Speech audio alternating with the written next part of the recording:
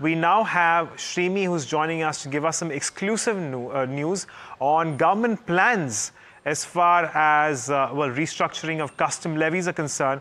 Shrimi, over to you. Good afternoon.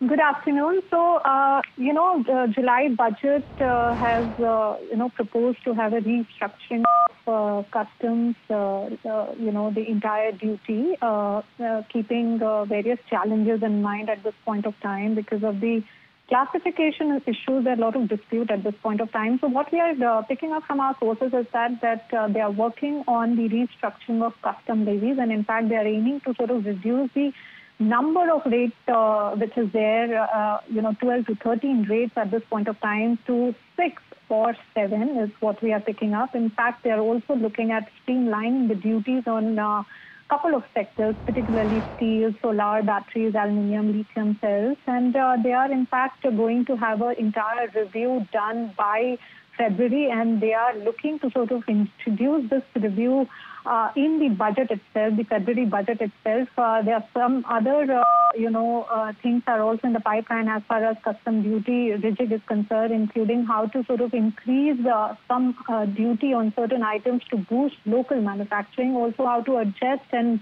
you know, fix inverted duty structure, which is there at specific items. And in fact, uh, this entire exercise is to have simplification in the custom duty and also to have a less classification so that it would not lead to litigation is what we are picking up. And uh, they have sought some, you know, uh, industry stakeholders' uh, views as well, and they are going to consider all that, uh, you know, in the upcoming budget.